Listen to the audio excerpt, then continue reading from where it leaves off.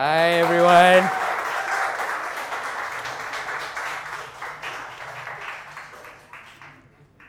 So, are we ready? Yes. Okay, more or less we're ready. It's a full house here today. Okay, so first of all, thank you so much for coming. Good morning.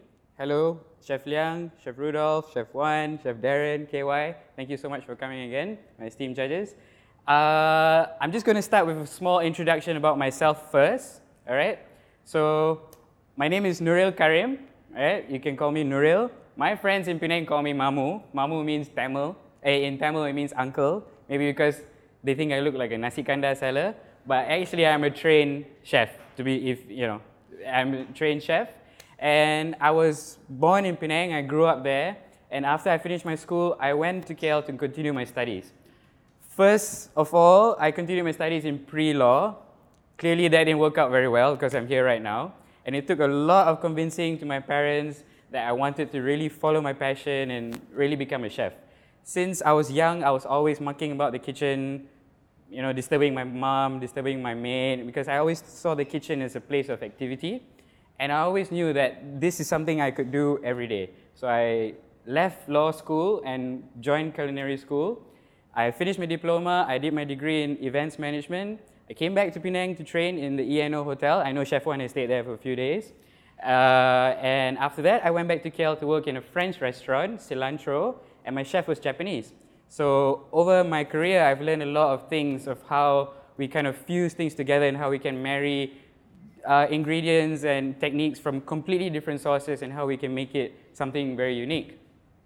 So a little bit about myself, and after I finished my stint in Cilantro, my family decided to open a business in Penang.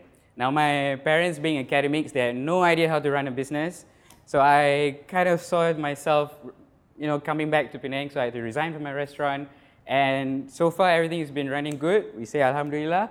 Uh, the restaurant has been successful for about three years already now. And here I am today. So in Penang, what we promote is Peranakan cuisine, Jawi Peranakan Chef Wan would be very familiar what Peranakan is. So some of you who don't know what Peranakan is, it's basically a, an offspring where the parents are a hybrid. So you have a local mother and a Straits settler, usually a father. And more often than not, in places like Malacca, Singapore, the Peranakan community consists of Straits Chinese. And then when they marry local Malay people, uh, they develop a small little community and culture of their own, the way they dress, the way they talk. And this as well reflects a lot in their food and the way they eat. So the Peranakans actually have been fusing things for hundreds of years, two hundreds of years. And now in modern cuisine, we're talking about, I actually don't really like to use that word, fusion. So, but the Peranakans and the mixed heritage people of Malaysia or in this region, we have been fusing ingredients for generations already. And it's about time maybe that local or our trained professional chefs learn a little bit from these people and how we can marry these flavors together. So right here today, I'm gonna just brief you about what I'm gonna cook. It's a local dish. It's my interpretation of how we can harvest, harness the best of local produce. Uh, it's a red snapper, and on the red snapper we have a prawn otak-otak mousseline. It's served with a ulam pesto, and on the side with pucuk paku or fiddle fern warm salad of sorts. So it is presented in a more like a modern setting, but the flavors and the characteristics of the dish are very much Southeast Asian. So this is actually my true passion. Apart from running my business in Jawi Peranakan culture, I love to promote local produce. As a chef, I have traveled in a few places. I just came back from England two months ago, and over there, there's, you know, they really they really sell the farmers markets, the local produce, and people really enjoy going and, and feeling so proud about what their, uh, their county can produce. And I think it's similar over here. Malaysia has such fantastic ingredients, beautiful local produce, uh, beautiful seafood, meat, and vegetables. And I think why should we import so many vegetables and so kesian the vegetables, put them on a flight and they travel 12 hours over here to Malaysia in an ice box and you unpack it and more often than not, the chefs over here, they don't exactly know what to do. So why not we just try to put these local produce on the next level, put it on a stage where it can really shine and not be in like a typical makcik-makcik nasi campur joint. Okay? So first things first, I have my plate. All right? So the components of the dish are quite interesting. Some of you who are local definitely definitely you will be quite familiar with all of this.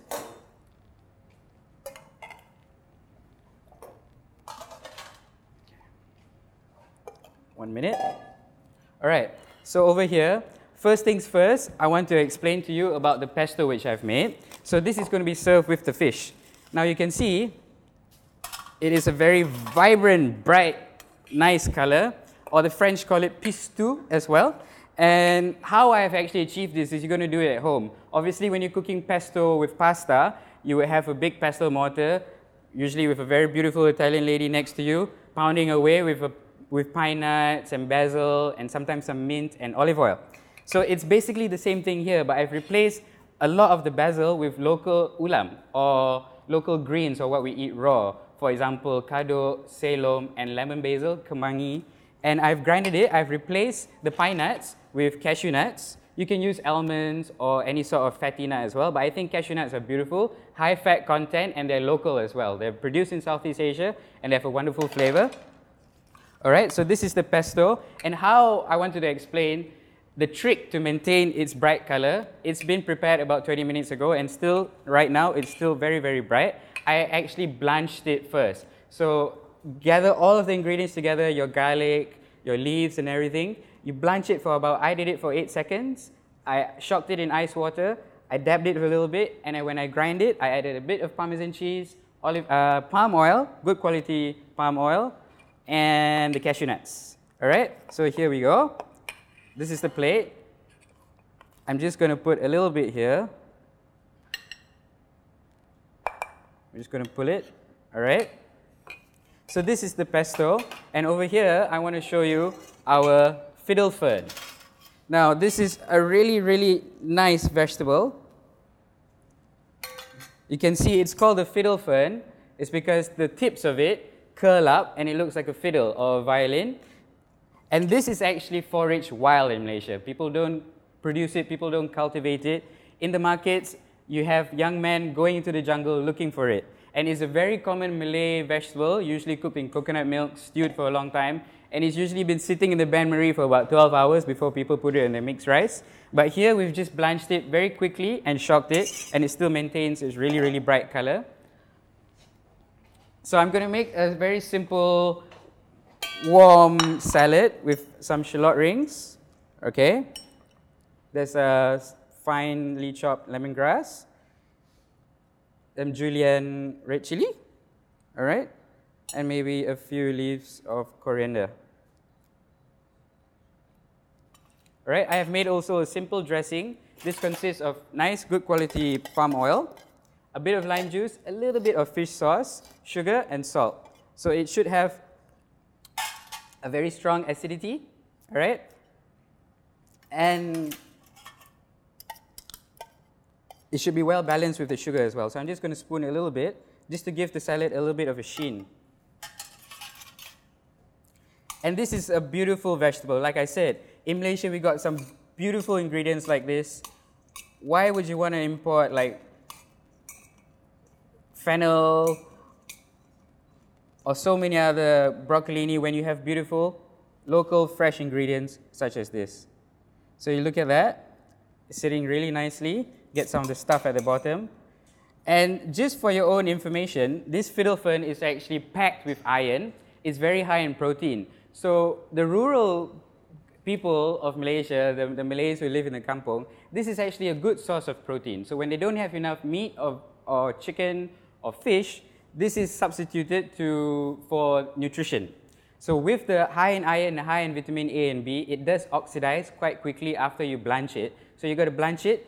I blanch it with heavily salted water and a little bit, one or two tablespoons of oil in the water, and you get this really nice sheen after it's done. And it reduces the possibility of oxidiz oxidization again. The similar thing about what we did with the pesto. All right? So that's really, really cool. And last but not least, our fish is ready in my oven over here. Ding! It's done. the oven's not on, but yeah, okay. So we have fish, it's covered, it's still warm. All right, so this is a beautiful piece of local snapper. I fillet the snapper by myself, all right, and I've removed the skin and I've made this fast, this force meat with prawn. I've grinded some of these local ingredients. Okay, I think it's not here. The local ingredients consist of shallots, lemongrass, galangal, chili, garlic, ginger. I grind it into a sambal. I fry that with some shrimp paste. I cool it down and I blend it with the prawn. I add coconut milk. I add an egg. I add some lime juice. I add a bit of salt. So this is all is going to be really, really well balanced, and it's just going to burst. Malaysia, burst. Southeast Asia. Oh my God, what's going on here? But it's it's really nice. So I've covered it with some banana leaf. I've oiled the pan and I've oiled the top of it, and you can see over here the banana leaf as well, if you oil it nicely, it's almost like a natural, natural non-stick. So I'm just going to take it really gently. I'm going to put it over here. All right. So how we get this bright, nice color is from the fresh, uh, the freshly ground dried chili paste, the red palm oil, and the fresh ingredients. Like there's a bit of turmeric as well very quickly, I have made actually, last minute since I had time, made some chili oil with the remainder uh, oil which split from the sambal just to moisten the fish a little bit. All right. And with otak-otak, a very, very common thing with otak-otak is going to be daun Kaduk. So daun Kaduk is another variety of a very local plant. It's from the piper species, but it's much more herbal. In fact, Sunway College grows it everywhere around the guardhouse. It's because you know uh, landscape artists actually use it for uh, a crop coverer, and it's a very good crop coverer. But if you steam it like usual otak-otak, it's a very pungent herbal taste, which some people like it. Some Malaysians love it, some Malaysians don't. So what I did, I chiffonade, which is finely sliced it. I roll the leaves in like a cigar, and I flash fry it. So when you flash fry it, it gives this very nice, beautiful green color. All right. What Ahong, ah one of my participants, he calls the green afro. Okay. But it has the same consistency or the taste as if you were to fry nori. So working from cilantro or anything, we do garnish with. We have about eight to ten varieties of seaweed. And this is just one little thing which is going to be very, very nice. And just to finish it off over here very quickly, another very Southeast Asian ingredient. This is uh, kantan or the ginger torch. All right, it's beautiful, it's pink, it's fresh, it's gingery. But again, some Europeans and some Westerners might not enjoy the taste. So what I've done to just reduce it so it can balance very nicely with the rest of the food is I've done a quick pickle. All right, you just boil some water, add some sugar and salt, and I've used rice vinegar. So it's a very, very simple way. So this is just a little bit of this kantan pickle, which I'm going to scatter everywhere. And it's beautiful. It's pink, and it's completely natural. There, have, there has been no coloring added to it. And this is it. So everything here has some sort of health benefits. Like I said, the pucuk paku, it has full of iron, it's full of vitamins. It can make you look young if you eat enough of it. It's very crunchy, it's very fresh, and it has this nice earthy taste. You know, if you look at old depictions of dinosaurs, you see dinosaurs eating ferns and everything like that. So dinosaurs eat pucuk paku. Dinosaurs grow big eating this. And why why not we eat this? Right? If your children or your kids say, ah, I don't eat vegetables, I don't like anything green, you say, you know, Awang, if you want to be big and strong like a dinosaur, you better eat pucuk paku. Okay? So this is how this is how we try to train train our kids. I've loved eating vegetables since I was young. I don't know what's wrong with some of the kids nowadays. But just to finish it off, just for the crunch, I have some of the cashews which I reserve from the pesto, a little scatter here, a little bit messy, but that's the way I am. You see my hair, I'm also a little bit messy. Okay, but this is it. So I've tried to introduce the best of local produce. We got the kadok, locally caught fish, locally caught or farmed prawns. It's mixed with sambal, foraged vegetables, foraged ulam to make a pesto, Uh, even the kantan is not grown. You get some people going into the jungle, and that's why when there's a lot of haze, these things don't bloom out very nicely. So thank God for the past four days, the weather has been beautiful, and in the market, Le Cordon Bleu has been so fantastic to produce such wonderful ingredients for me today. So I hope everybody has enjoyed my short demo. I'm sure some of you are curious at how it's going to taste, but it'll taste really, really good, and it's going to really, you're to realize how, how much you can do with our local produce. And whatever imported produce which I've used, like the Parmesan cheese and whatnot, is just to lift, to lift the original produce to a different level. So over here, last but not least, I've just used a microplane and grated some Parmesan very quickly. In the restaurant, we do it with a microwave, but here, and we have a very strong oven. So it's Parmesan crisp. You can just crack it up. Okay, it's very nice. And we can stick it, stick it. we can just put it or scatter it. How long have you had your restaurant in Penang? Uh, it's been, we have entered our third year. So we've been running for two years. The seating, we, we can seat 55 downstairs. It's been divided into two sections. It's like an old heritage house. So there's an airwell in the middle. So it's like 25 in front, 25 at the back, and there's an art gallery upstairs. You running it full time on your own? I'm running full time. I have a team of about six, seven people. I've trained them quite thoroughly. They should be able to, to produce what I tell them. Business is pretty good. Business is pretty good. It is a, a, a family thing.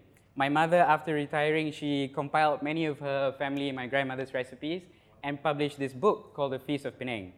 And after it's published, people were like, you know, where can I taste this? Where can I taste that? How to cook this? You, you know, you write on it, but okay, you come to our shop and you can taste it. So we promote Jawi Peranakan cuisine.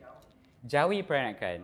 So it's the same as Peranakan, Nyonya Peranakan, but the word Jawi just means Muslim Peranakan. So the settlers are from Muslim Straits settlers from the Middle East, from Pakistan, from India, and have married local Malay people and produced people like myself.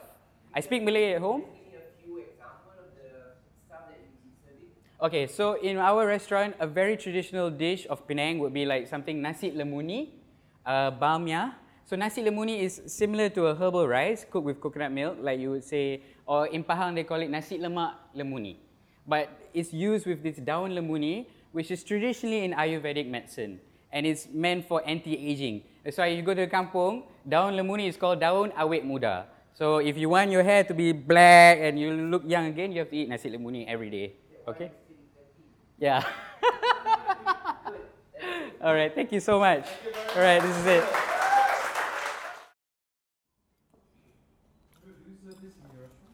I don't serve this in my restaurant, unfortunately. Uh, our restaurant is quite constrained to its theme, which is more homely traditional. But this is what I've been training in college and when I was working. So it's what I really like to do. Not too authentic, not too traditional, a bit more, more modern in how it's presented. The flavors should be quite familiar if you're from Asia at least. Hmm. You say this is a true representation of yourself? I would say it's a true representation of the things which I thoroughly enjoy. So it, I, I really enjoy local Southeast Asian food, and I make it a point to travel within Southeast Asia before I go further to Europe and things like that. So I've gone to Thailand, Vietnam, Philippines, and I think we share a lot of similarities uh, between one another. But Malaysia, because of you know our mixed traditions and everything, we have so much more to offer. And I think currently in Malaysia, it's lacking in that sense. That how we are promoting our local produce. Yeah, it's not. It's not how other countries are doing it. Just very nicely. What, Like what, this, sorry. what dish would you say this was uh, inspired from? uh, Uh, definitely, initially it was inspired, to be honest, when I was studying uh, Marco Pierre White, when he was just started his career. I think, was it Marco? Yeah, I think it was Marco. He created like a dish with a halibut fillet, and it was encased with uh, shrimp and pork farce, and it was wrapped in savoy cabbage and steamed. So I've always, since watching that video, I've tried it out many times. I've done mushroom farce, uh, chicken and whatnot. And I think when you have locally caught fish, which is not too fatty, like compared to European fish, is very fatty. Uh, it's nice to add more luxurious taste to it with the otak-otak. Slightly more lemak. you Slightly more lemak, Yeah. more you get the more savory seafood taste. Yeah. Yeah. I like the taste, but I wish you have a bit more sauce instead of this green thing. I would have prefer more sauce with it. You know, like yeah, more like you know more more lemak sauce thing. You know, come on. Okay. Other than the green. Mm, yeah. I think your philosophy to take care about healthiness is very, uh, very interesting. Yes. Because you know, while you the vegetables, you go to looking to, uh, as you say, maybe to, uh, in, in jungle to find some special herbs or vegetables. It's, it's, it's very. Uh, It's different. It's like uh, in Europe, interesting, certain yeah. seasons you Yeah. forage for mushroom, Yeah. you forage for other things. Right. Yeah. Okay. After the rain, you get a lot of these ferns popping out everywhere. So But it's good. Yeah. Mm. It is. nice dishes. I'm going to assume that this is presented as a main dish. It is going to be a main. This is main dish. So uh, I- I would usually add a small starch to it. Yes. Like maybe what I've done before is this thing called king couscous. Lebanese couscous. Yeah. Bigger version. It's a bit chewy. It's like a pasta balls almost. So that gives a nice texture to it. So I think knowing that you are missing a starch, the Yeah. question would therefore be, why was it not included in the plate? Uh, I think as a total dish, Yeah. just with the flavors, I thought it would be more than enough to represent what I like. So I thought starch would be a bit too heavy because I find the dish with the palm oil elements, the palm oil in the in the force meat, there's palm oil in the pesto, the palm oil in the salad. So I thought another starch be a bit too A bit too much, you Yeah, think? but I was aiming it to be like a nice uh, entree, not really a main course. Okay. Well, as flavors go, I quite like what it is. I've got a robust pisto, pistu, the way you said it. Flaky crust, I like it. Um, okay, I'm going to go with the presentation style. Um, I feel, I felt it was maybe a little bit too stiff up front.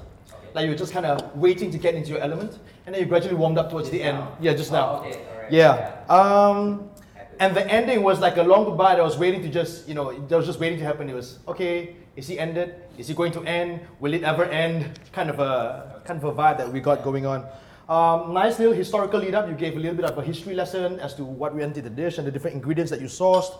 Fluency in your plating was really good. Uh, you demonstrated your knowledge of the different ingredients that you used, and we like that because it was uh, just a nice dose, not too much. Yeah. So I like that. Coupled with a good dish, well, yeah, you're on a good roll. So Yeah. sorry about the dragging on thing. I think I got more than you know, I got more than what I was bargaining for. I Alright. got a bit excited, and I was like, okay, so many things I didn't talk about. First, I thought 15 minutes was going to be too long. Yeah. It's good that you're comfortable. You know, It's mm. very important. But I wish I could see you work more lah. But I'm sure that one you can put in. But, but obviously you're very comfortable on, on, on camera and doing stuff, so that's good. That's a big plus already. Oh. Uh, yeah, yeah. Because the most important thing that when you go on television is like you know you have to be very comfortable. Uh, you know, at ease at what you do, and then of course knowing all your stuff, and then delivering. But of course, you have only a certain precise time. You know, you can't go blabbing away on and on and on, because that gets edited off anyway. You know, uh, but other than that, you don't have to worry because that's the director's job anyway. But other than that, is uh, you know for you to have fun and, and it's good. You know the way you you project yourself. I like you know that that you really you know speak out. You know about you know all your your, your past, your history, and, and then of course your opinion about you know uh, the food and and, and, and, and and and of course you know the style of or doing things on that. So that's great. Yeah. So I think in the future, if you do happen to have your own series and work, you know, this is what you want to do. Mm. Get back, don't, don't try to diversify, not just specialize in your only, but try to learn different things on that. Yeah, then um, I think, you know, uh, it's, you have a good future, you know, to go on TV, yeah, And Mm. inshallah. That's what I projected here today. I know it's the finals and everybody's so stressed out. Mm. So I just wanted to come up and show everybody that I love to cook and I'm just having fun. Regardless in the kitchen or on the stage. Mm. Because like, we, we, can't, we can't test you just being on TV. We just, you know, this recipe, of course, because you're gonna have this huge repertoire, you know, to go. But I think the I think the most important thing is to see you, you know, behind camera and handling that and, and having the confidence. That is so important. Because the minute you know you go on silent or you know what to do, da da da, it's like that's it, you know. Because you have to understand, people that watch cooking shows are not people who like uh, to cook all the time. They like to be entertained as well. So you you have that kind of sense of humor. Uh, and, and that's so important to have a bit because you learn you learn the trick and all that uh, and then especially when you have all live studio audience you go in because you're going to also present a lot in, in live shows and all that no? not just on television you're going to do cooking demonstrations so you did I you did very well today I, I- think you know? For that